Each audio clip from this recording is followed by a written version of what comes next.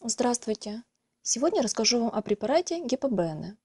Гипобены выпускается в виде капсул. Действующее вещество– экстракт дымянки и сухой экстракт расторопши.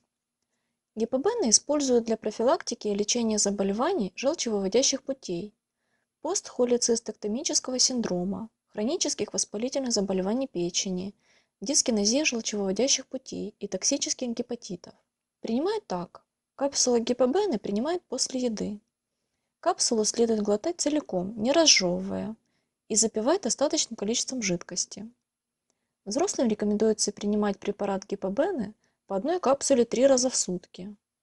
При ночной боли рекомендуют дополнительный прием одной капсулы перед сном. При необходимости суточную дозу препарата повышают до максимальной 6 капсул, по 2 капсулы 3 раза в сутки.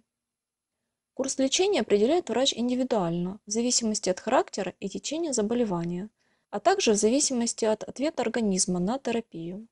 Противопоказания – это повышенная чувствительность к действующим веществам или другим растениям из семейства сложноцветных или к любому из компонентов препарата. Острые воспалительные заболевания печени и желчевыводящих путей, острый гепатит и холангит, острое отравление различной этиологии, желчекаменная болезнь обструкция желчевыводящих путей. Также не применяется у детей в возрасте до 6 лет. Данных о неблагоприятном влиянии гипобена на беременность плод нет. Тем не менее, гипобены назначают при беременности и лактации с осторожностью, только по строгим показаниям под наблюдением врача.